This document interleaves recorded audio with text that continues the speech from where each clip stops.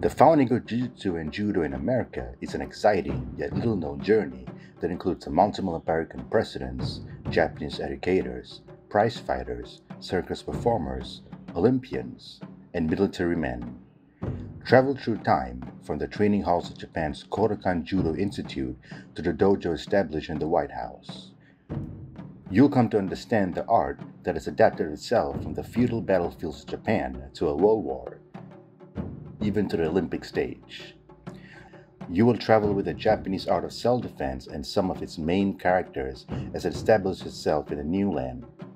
Whether you're a martial arts history aficionado or someone looking for a simple and readable history, this book, The Founding of Jiu Jitsu and Judo in America, is for you.